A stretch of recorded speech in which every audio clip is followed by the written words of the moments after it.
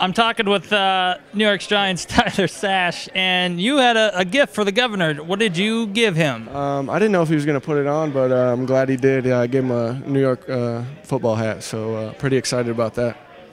What did the governor have to say to you, and what did you say to uh, uh, Mr. Branstad? we just talked a little bit about the season and talked to him a little bit about what he's doing throughout the state of Iowa, and I appreciate all his work that he's he, he's running around like a like a madman, visiting cities by city. So uh, it's pretty cool to just get to sit down and or not sit down, but stand here and, and get five minutes to talk to him. So it's pretty cool.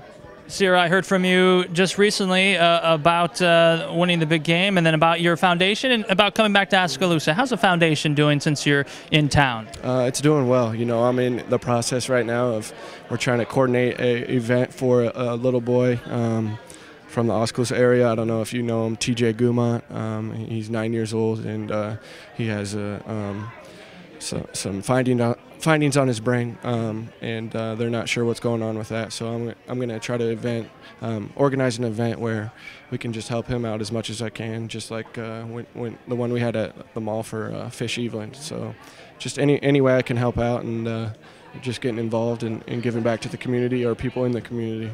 What's it like being back in Oskaloosa? I like it. You know, it's uh, obviously by choice. Uh, it could be about anywhere in the United States, but I love coming back to Oski. You know, um, it really puts things into perspective when I come back. You know, um, being in New York, don't get me wrong, I love being in New York, but it's a nice change of pace to come back to Oskaloosa and it doesn't take me an hour and a half to go to the grocery store and get just and, and get home just driving. So, um, you know, it's nice to be home.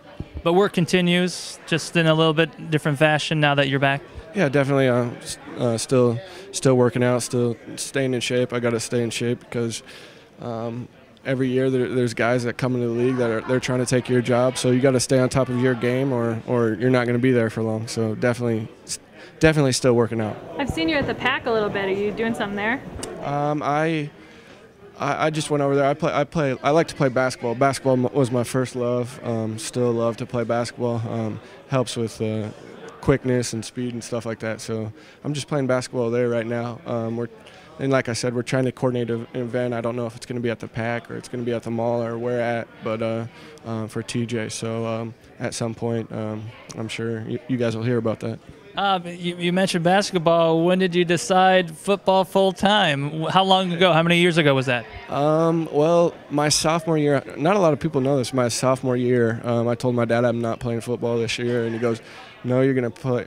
He basically made me play one more year, and he's like, "You're gonna play, and see how you like it." And um, Coach Schumacher at the time moved me up to varsity, and um, I, I don't like talking about being all state or all this, whatever, but I ended up making all state, and I was like, all right, this isn't so bad. And I guess I kept playing with it, and, you know, it, it turned into something where um, I'm where I am today, and it's pretty crazy last five, six years, however long it's been. Any elbows from the dad since that time?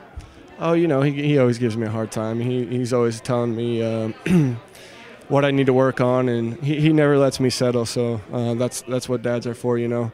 At the same time, he's very supportive of me, and, and he's always keeping me motivated to do things.